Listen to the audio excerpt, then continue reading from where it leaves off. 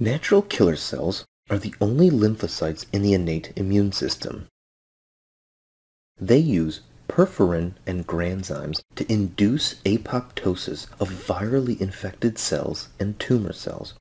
The activity of these lymphocytes is enhanced by IL-12, interferon beta, and interferon alpha. Here is a virally infected cell. Recall from the MHC discussion how fragments of viruses are loaded onto MHC1 receptors and fastened to the surface. This is where natural killer cells come into play. They take a look at the receptor to see if the cell is infected or not. If the cell is infected, the immune cells need to induce apoptosis to make sure the virus can't proliferate and infect other cells. So how do they do this?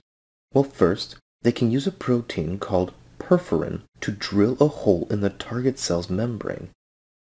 And do you remember what they send through this hole?